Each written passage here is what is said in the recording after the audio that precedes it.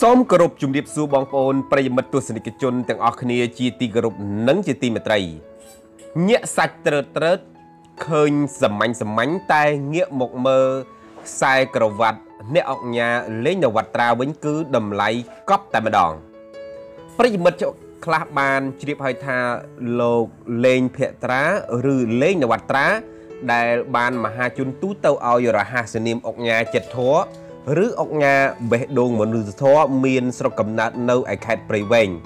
ក្នុងនាមត្រកូលគ្រួសារកសិករនិងបងប្អូនរបស់លោកមិនមានឱកាសបានសិក្សាច្រើននោះឡើយហើយបានរសាត់អណ្ដែតដល់ប្រទេសកូរ៉េខាងត្បូងដើម្បីបំពេញការងារជាពលករនៅក្នុងប្រទេសនោះស្វះស្វែងរកថវិកាទ្រទ្រង់ជីវភាពរបស់ខ្លួននិងក្រុមគ្រួសារ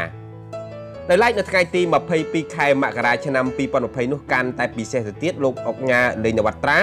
ត្រូវបានព្រះមហាក្សត្រនៃប្រជាជាតិចក្រកម្ពុជា ប្រោះប្រទានបរមងារជាអុកញ៉ាតាមសេចក្តីបង្គំទូលរបស់សម្ដេចតេជោហ៊ុនសែននាយករដ្ឋមន្ត្រីនៃប្រជាជាតិកម្ពុជាយើងយ៉ាងណាមិញងាកមកមើលខ្សែជីវិតរបស់អ្នកអុកញ៉ាលេងនវត្រាវិញយើងមើល